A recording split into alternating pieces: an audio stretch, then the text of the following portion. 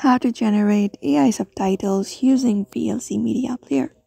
Hello everybody, today in this video we are going to teach you how we can do it. So without any delay, let's just go ahead and start of the video. So in order to do so, the first thing you can do is you may go ahead and download the VLC Media Player. If you don't have it, you may open up one of the browser and search for VLC Media and head over the official website of VLC Media Player and then just go ahead and download it onto your device. You may click on this download VLC and once that is done, it will start downloading like this.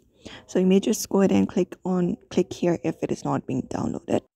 But once you reach over here, it will start downloading at the very top. You can look for your downloads right now you can see it is being downloaded so you need to wait for a bit and after the download is completed you may just go ahead and look out for it on your files and just go ahead and set it up on your particular device so if you're wondering how you can do it uh, with vlc the thing is you need to use another ai tool in order to use it on vlc media player so while you go ahead and open up your VLC media player, you also need to open up another AI tool such as veed.io or a different media AI tool.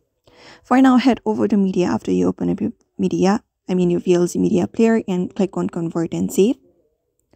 After that, click on add in order to add the file that you would like to have the subtitles for. For example, this video right here and click on open. So you need to convert it into MP3. So go ahead and click on browse or uh, this one right here, convert or save and click on convert. And after clicking on convert, select MP3 audio and after that click on browse and right in this video type in .mp3 so that it can be converted into mp3 version first and click on save and click on start once your audio has been converted what you need to do is the next thing is you need to open up a browser. You may go and open up veed.io this is one of the browser uh, that lets us directly create subtitles. So just go to veed.io and log in into your account. And once you are logged in you can go ahead and upload the video. Click on new project. And upload the video right here. In this upload file and once your video is uploaded you can go ahead and look for subtitles option and once you uh, go over the subtitles you should be finding auto subtitles option just go ahead and click on it